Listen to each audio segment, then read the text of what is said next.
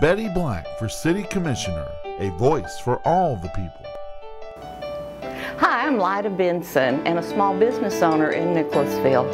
Having Betty Black as Commissioner has served me well over the years. In talking with folks on the police department, they have great things to say about Betty as well. We have several new officers joining our police department, and they're fortunate to have her as commissioner. We're getting a new fire department in the Brannon Crossing area, and the crews are grateful to Betty. She has helped make our city a safe place to be.